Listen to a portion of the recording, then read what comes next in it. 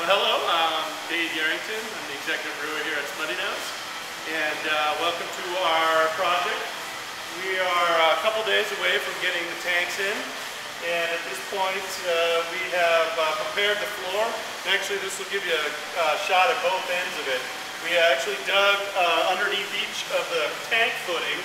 Uh, we dug down a foot and poured concrete to give more strength to the floor. Uh, so once the tanks are in and they're full of liquid, uh, they're going to need a little bit more support here. On top of that, we've poured a uh, sloped concrete floor. Uh, and right now, we've only got two of the tanks, uh, a floor underneath two of the tanks. This is going to wait until the third tank comes in in about a year or at some point in the future when we need it.